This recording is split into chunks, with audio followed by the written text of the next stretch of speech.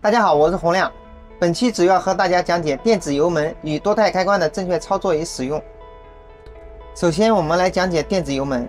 这款拖拉机有脚油门和手油门分别控制，两个油门的作用相同，可根据实际作业情况进行选用。脚油门在驾驶座的右前方，道路运输时应选择脚油门，使用时应缓慢踩下油门踏板，发动机转速逐渐加大，切不可猛封油门。以免造成发动机部件损坏。手油门在驾驶座的右方，转动油门手柄向前加大油门，向后减小油门。当拖拉机田间作业时，应选择手油门来获得均衡的动力。注意，道路运输时严禁使用手油门。多态开关在方向盘下方有以下三个模式：省油模式适合道路运输或田间转场等小负荷作业时使用；标准模式。适合悬根或平地等中负荷作业时使用。